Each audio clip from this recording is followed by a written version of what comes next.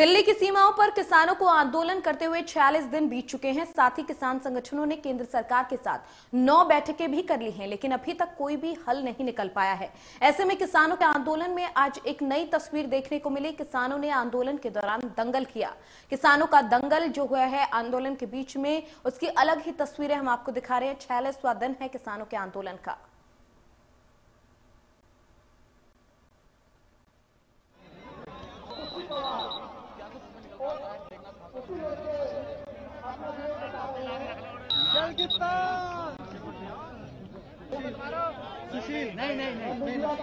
अपनी मांग पर किसान डटे हुए हैं और उसके बीच में एक तस्वीर ये भी, जहाँ पंजाब, हरियाणा के इलाकों में पहलवानी को बहुत तवज्जो दी जाती है और उसकी एक तस्वीर यहाँ पर भी देखने को मिली।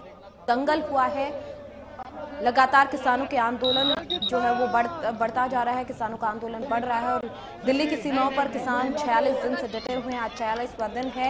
गाजीपुर बॉर्डर टिकरी बॉर्डर पर ये दंगल हुआ है। तस्वीरें आप देख सकते हैं।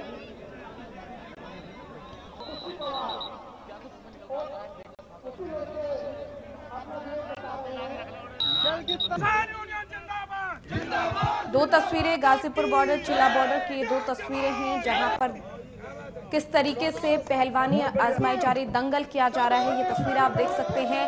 आंदोलन के बीच में ये तस्वीरें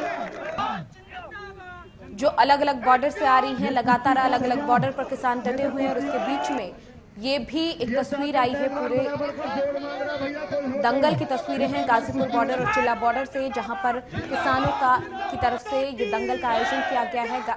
युवा इसमें बढ़ चढ़कर हिस्सा लेते नज़र आए। गाजीपुर बॉर्डर, चिल्ला बॉर्डर की ये तस्वीरें।